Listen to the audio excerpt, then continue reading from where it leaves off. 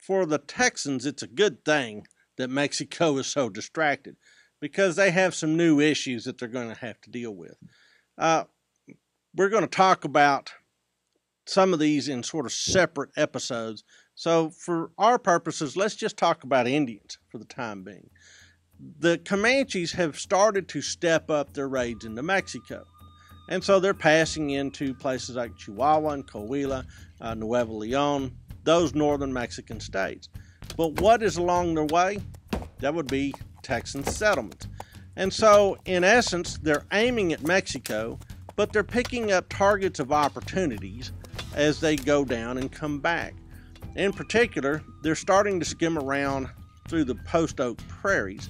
And uh, in 1836, the summer of 1836, they hit a small family fort known as Parker's Fort or Fort Parker uh, that had been established a couple of years before by an immigrant family that it knew that they needed to fort up and keep themselves kind of uh, protected on the frontier there at the headwaters of the Navasota River.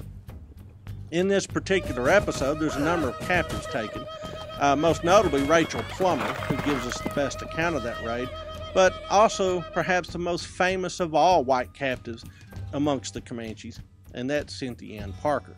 She's picked up in the summer of 1836.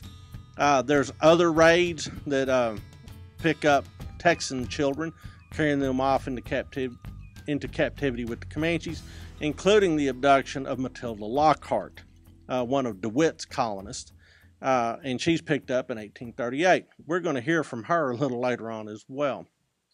Well, these raids coming and going, and this uh, occasional violence, and this fear of the Comanche moon, so called Comanche moon, uh, when the, the moon is bright enough in the fall for the Comanches to start riding. Uh, Sam Houston knew that this sort of trouble would probably end poorly.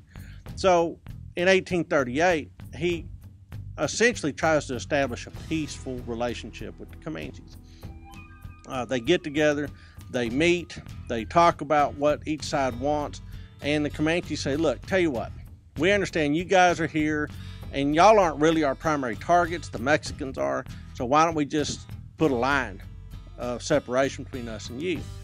Sam Houston's response was, You know, you can't build a wall big enough because as soon as I build it all the way to the sky, there will be an army of Texans trying to figure out a way around it or under it.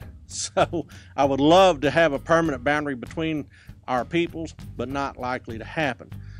Well, the Comanches understand. I said, tell you what, let's at least just kind of call a truce, and we're going to continue to pick on Mexico, and uh, we won't bother you guys anymore. Sam Houston says, fine, but one issue. You need to bring back all those kids that have been abducted. Comanche say, no problem. You know, we're uh, not particularly partial to them anyway. we would rather have Mexican captives. They fit in better. So it looks like everything's going to work out fine, and the Comanches shift their focus.